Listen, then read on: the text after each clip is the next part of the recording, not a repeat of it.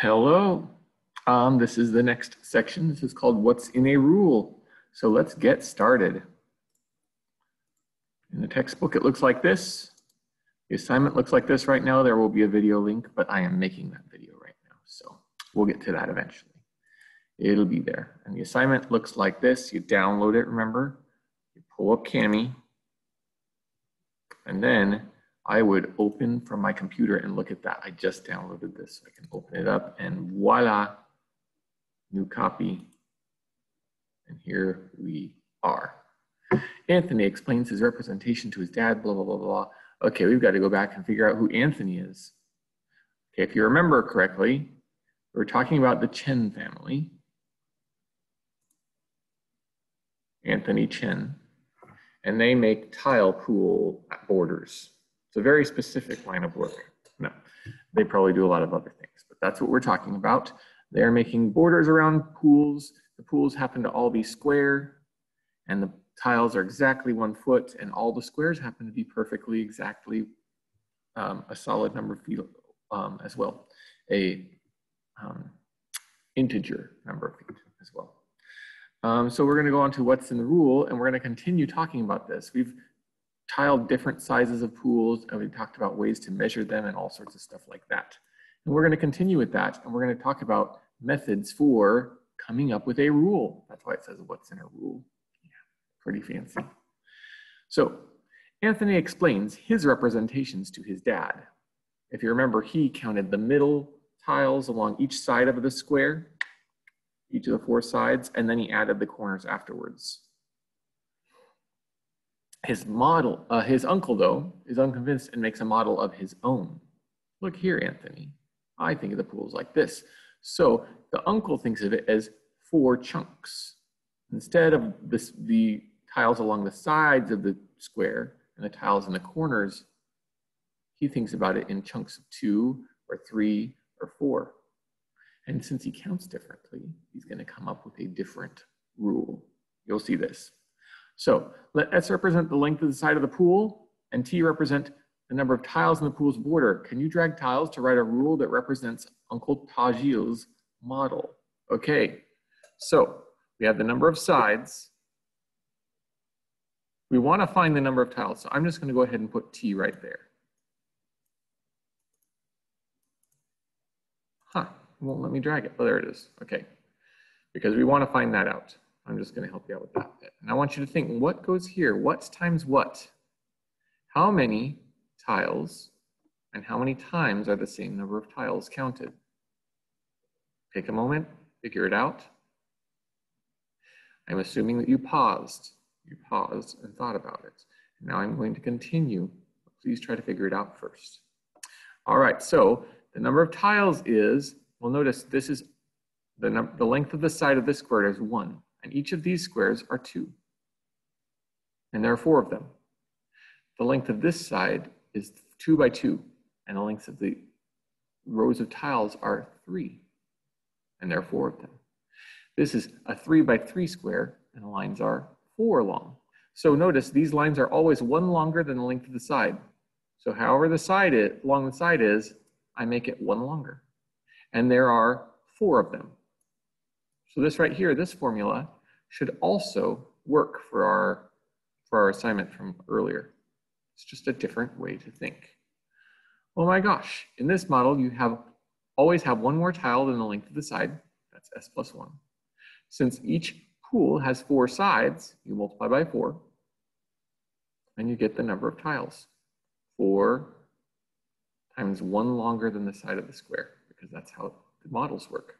And we can see it'll keep going like that, even for a five by five a square or whatever else. Okay, just so you know, that was in here. So I'm gonna go ahead and I'm gonna write, okay, so what is a good rule? It is T equals four times S plus one. Remember, when I have a parentheses around that S plus one, I don't have to write a multiplication between that. So that's what I would write. That's what we're looking for. All right, this model shows something else. We're gonna talk about that in a moment. Um, just missed that. Let's keep going. Anthony thinks for a minute. Anthony knows his reasoning makes sense. So remember, Anthony counted it. Um, let's see. We'll go back to look at Anthony's thing really fast because I want to make sure you understand what he did. That was in tiling square pools. That was in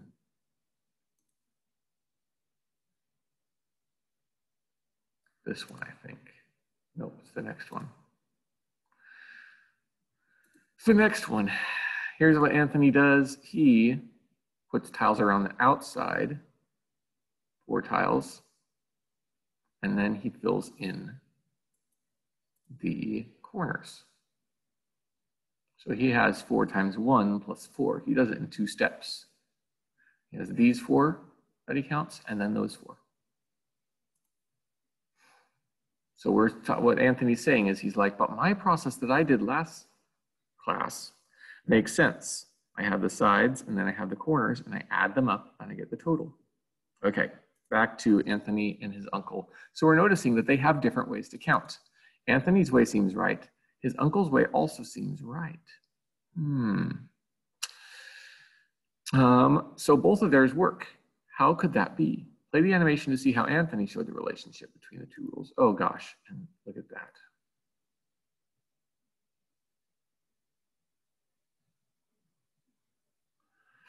So this model shows the number of tiles 4 times s plus 1, where s represents the side of each pool. I'll start by moving the tiles away from each side and arranging them in under each pool like this, says Anthony. Okay, so he's showing this is 4 times s plus 1 because there are four chunks and each of them is one longer than the side. He's showing how his version is the same. Now he takes one away from each side. Now he has 4 times s plus 4. 4 times s, side is too long, plus 4.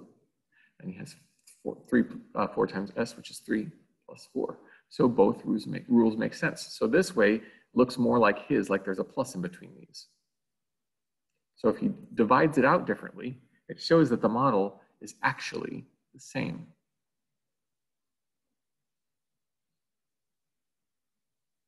Now he can make it look like his model, and these four are left over that he took off the end are the corners. So you can see that they are the same thing. They count the same thing, and they count right. So they're always going to agree with each other. Make sure that um, understand that. So this model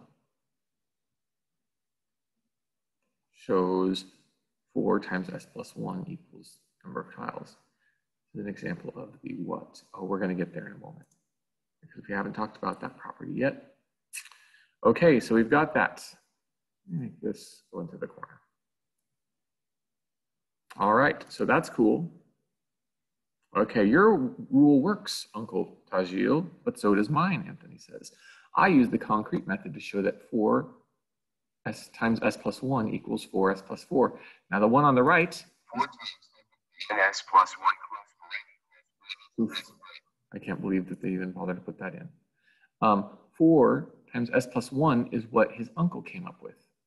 And 4s plus 4 is what he came up with. So he just showed that his way of counting is a different way but it makes the same number. And what do we call this? What do we call this property? That this is the same as that? Well, we're used to putting a line like this and a line like that and multiplying 4 times s and 4 times 1, and we get 4s plus 4. That's called the distributive property of multiplication. And it's a very useful thing to know about. Now, as you can see, the property of, this property of multiplication, it's just something that we notice. It's not something someone invented.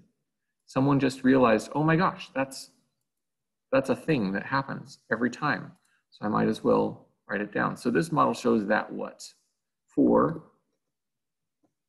times s plus 1 equals, when I distribute, 4 times s makes 4s, and the plus hangs out right where it is.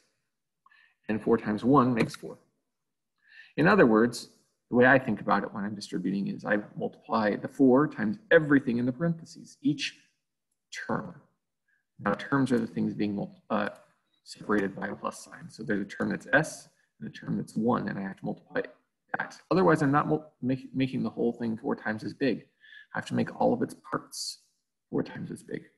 And that's why I have four s's and a four, four ones. This is an example of the distributive property of multiplication. And over, I'm not actually sure what they want, over addition. Okay. Over addition. Nobody says that. That's okay. Because why? We're distributing between these two things that are being added. There's addition that's in there. But the addition isn't happening. We're just distributing and there happens to be addition involved. So we say it's over addition. If this book asks for that, great. You'll never have to say distributive property of multiplication over addition ever again in your life after this class. Okay, explain why the number of tiles in border of a pool is the same as the area of the border. Hmm. Okay, so we're going to start talking about area. Now remember, area is how much space things take up, and it's measured in squares. And that's my hint to you before we get to that. Okay, so this is called the distributive property. We just showed the distributive property that it works. In real life, it's just a thing. It happens. When I write it one way or write it the other way, they mean the same thing. They give me the same number. They do the same thing. They're identical, really. So those are called, just so you know, another fancy word is equivalent expressions. This right here, 4 times s plus 1 is equivalent to 4s plus 4. These are equivalent. Why? Because they'll always be equal. You could say they're equal expressions, but they're not numbers. And we always say equal for numbers. So I could write that in here, why not? So what I mean is,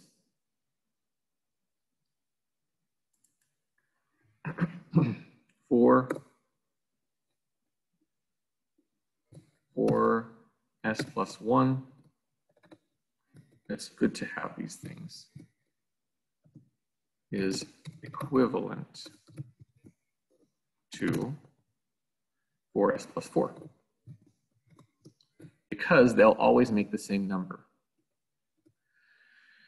15 is equal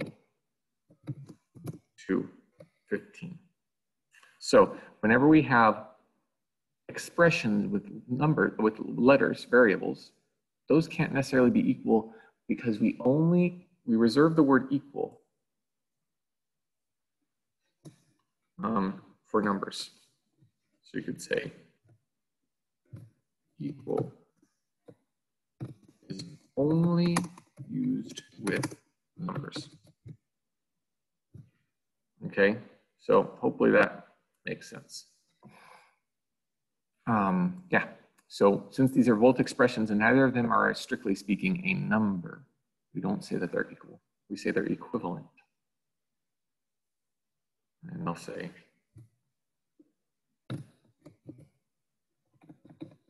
yeah, that's good enough. That's good enough. All right, moving on. So many things to fill in. I appreciate your patience as we go through this book because it is a new book to me and I'm always noticing things that need to be added. That's pretty good, Uncle Tajil replies, but there's another way you can look at it. Shouldn't the number of tiles in the border be the same as the area of the border? Is he right? Think about it. Okay, so we have the area of the border. That's what? Think about it. I'm pausing and then I'm going to explain it. Five, four, three, two, one. Okay, so area is measured in squares. The area of this blue is one square, one square, whatever, foot, because they're measuring these in feet. This is four square feet because they're four squares and they're each a foot by a foot. This is nine square feet, this blue square, because each square is a foot by a foot and there are nine of them. Okay, so the tile around the outside, it's only one square in length, right? So, so the area of this thing is just how many squares there are in it. In other words, if I measure around the outside, the number of tiles around the outside of this thing is the same as the area of those tiles because you're counting how many there are. Let's see how they say it here. Because each tile is a square foot, that is one foot long on each side, the area of each tile is one square foot. So one, two, three, four, five, those are each a square foot because they're square and they're a foot on each side. Look at the pool. The first has eight tiles around the border. Yep. Which take up a space of eight square feet. And this takes up a space of 12 square feet and so on. So the area, instead of the length, which is just counting how far around on the outside, each of these tiles takes up one square foot. So the number of tiles is the area in square feet. Hopefully that makes sense. We could type that in. Since each tile takes up exactly one square foot in area, if I count the tiles, I am also counting the number of square feet in the total area.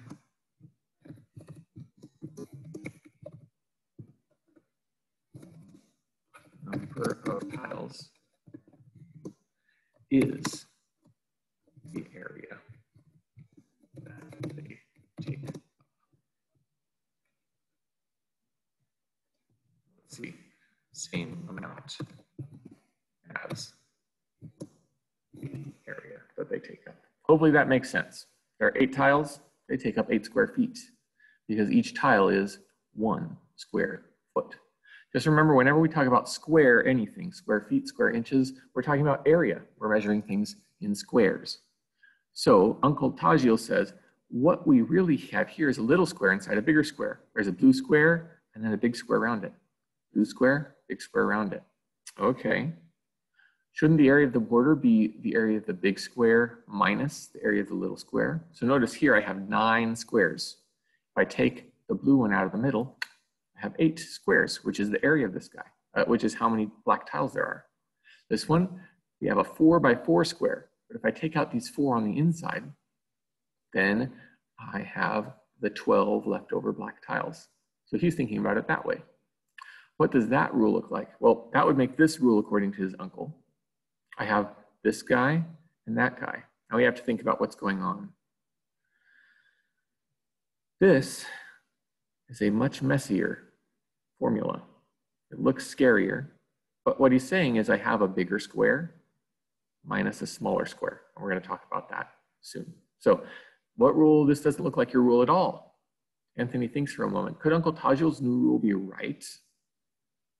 Well, they wouldn't talk about it this long if it wasn't, right? what is going on here? Let's talk through this.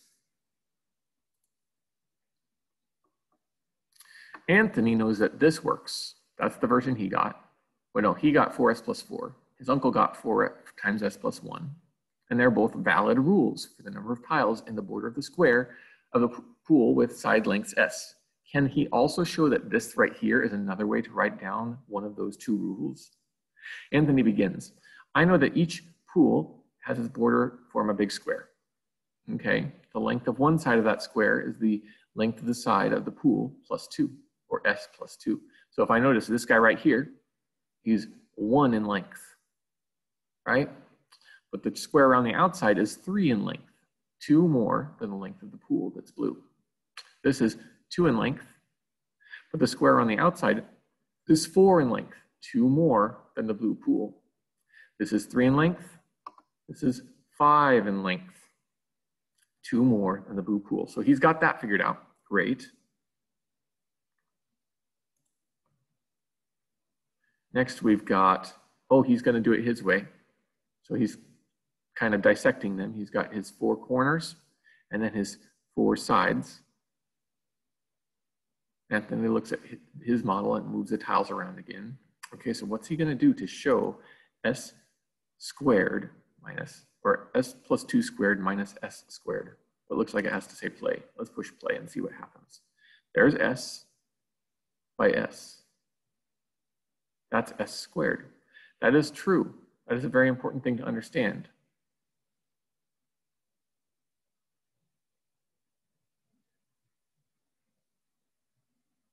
Hmm, this is interesting. So that was a lot of thinking. So he thinks that the area of each pool is S squared. So remember, whenever I have a square, I multiply the sides to find its area. So if this is a two by two square, I multiply two times two to get four. Whatever the length of the side is, I multiply it by itself. And that's what this symbol means. Squared means to multiply by itself. And it honestly literally comes from squares like this. I have a length of a side and a length of a side, and I can find the area by multiplying it by itself. 3 times 3 makes 9, and there are 9 squares in this. So this right here, this first s squared, represents the pool. This four 4s plus 4 equals 4s plus 4. That's his way that he found the area. If I add the pool on the inside to the tiles, I should get a total amount. Now what's this? Well, let's see, s plus 2, that's 3 instead of 1. 3 by 3 makes this entire square. So 3 times 3 makes 9 total. This one's 4 by 4, so this should be 16 total. So if I have the 4 on the inside plus the black tiles on the outside, I should have a total of a big square that's 4 by 4, which is 16 total. And if that's true, this makes sense. All right. Whoa. Oh, he's taking things away from each side. Whoa, look at all those bubbles and things. Wow. All right. So he's using algebra to show that if s plus 4 plus 4 makes that, I take the s squared away from this side, and I take the s squared away from the other side, I get this. Now this is called an algebraic proof. They are literally doing these right now, right now in geometry class.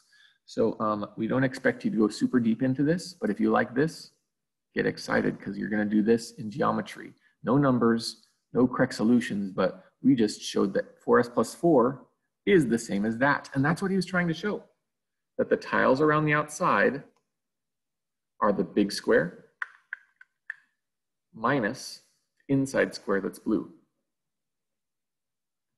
Okay, so that's a lot of work. Let's see what they want us to do here. What's in a rule? Explain using words and pictures why this is so. Now, I'm not going to make you necessarily use pictures the way that they did, okay? You can say what they represent. So for example, S plus one squared, just so you know, I push shift six. That's how we write squared when we're typing. Okay, it doesn't look like squared when I'm typing because it's not smaller, but if you do that on a computer, it will um, sometimes turn it into a square, but it will certainly understand what you're typing. So that is the area of the big square.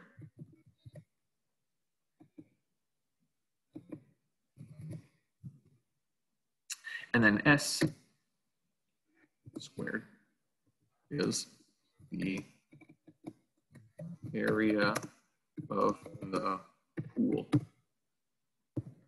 And 4s plus 4 is the number of tiles around the border. Okay, and we know that because this, the big square, this big square is always two bigger than the pool because it has these two on the end. So the big square is always going to be two bigger than the small pool and multiply by itself to find the area. So this is a four by four square and it has a two by two square inside of it. Four by four and two by two. Okay, that's why this is two bigger than that. All right, and so what does that help me with? Okay, so let's talk about this. We're gonna show that y this equals that equals that. Okay.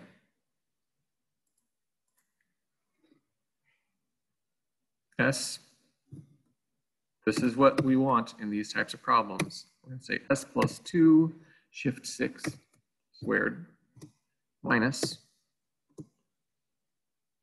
s squared equals. Now, I'm telling you, if you prefer the pictures and if you want to copy what that video did earlier, that's great. But sometimes that can be actually hard to explain in words. And I feel like this way, when, when we get it to an equation, it's kind of listing things out in an order that plus four.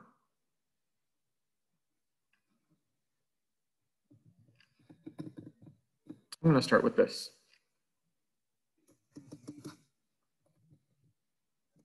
When I look at this, this is saying the big square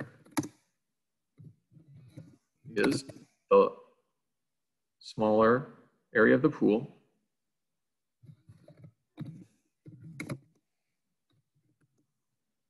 plus the tiles in the border. Let's see if I can make it.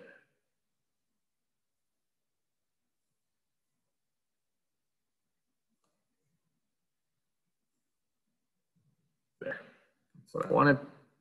So this right here says the big pool is the small pool, or the big square is the small pool plus the area of the, um, the tiles around the outside. Because these are the pieces that we're playing with. Okay, that's great. All right, so if I take away,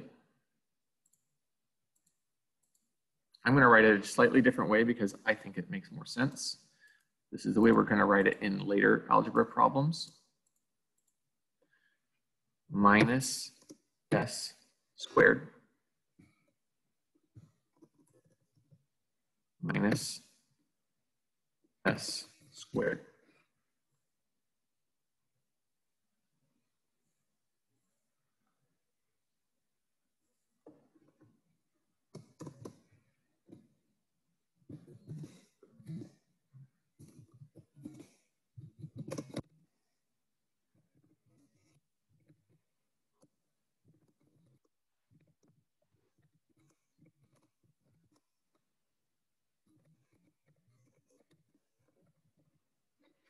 That one won't fit. Well, maybe.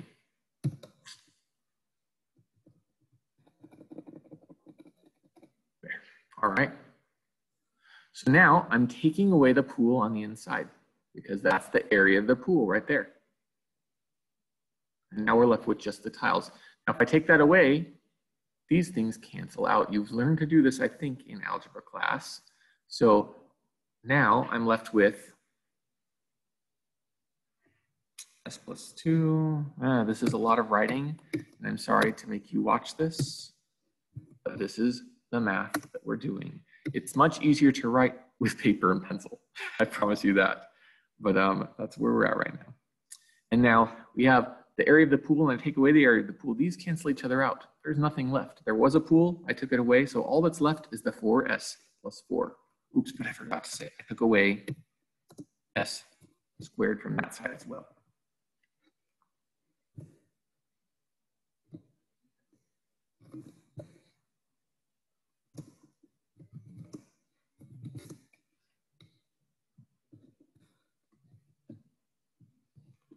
When I take a pool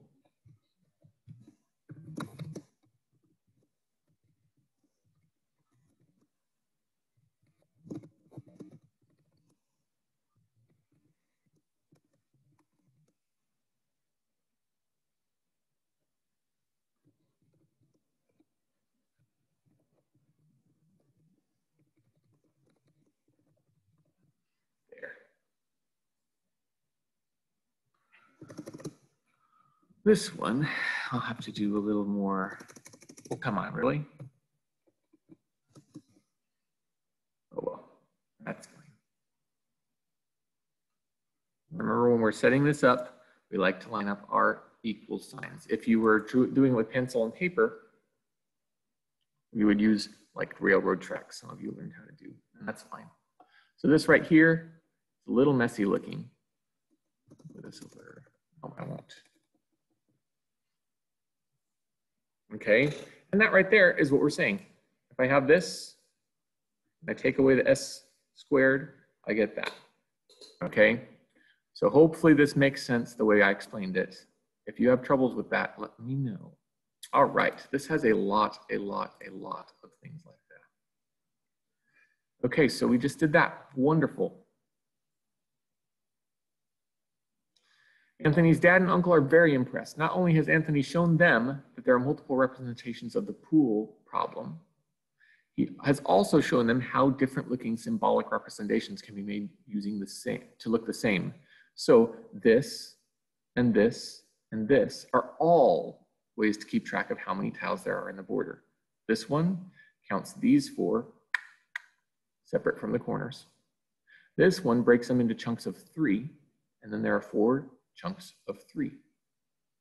This one thinks about it as a big square minus the inside square. Big square minus the inside square. And they all count the same thing. These are called equivalent expressions.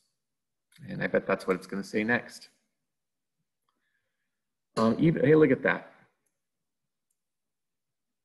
Even though the expressions look very different, each one can be transformed to match the other one using algebraic properties in mathematics, such expressions are called equivalent expressions. Expressions are equivalent when they represent the same number, no matter what value is substituted. So I can't tell you what number these are because I don't know what S is. But I do know that once you plug in an S, they will all make the same thing. Okay, so let's try that. What if I plugged in 10? 4 times 10 is 40, plus 4 is 44. If this was 10, it'd be 10 plus 1 is 11, times 4 is 44. 10 plus 2 is 12, squared is 144. 144 minus 10 squared, 10 times 10 makes 100. 144 minus 100 makes 44. If I plug in 10 for S, all of these say that it'll take 44 squares to go around a 10 by 10 pool. That's what it's saying. All right, almost done.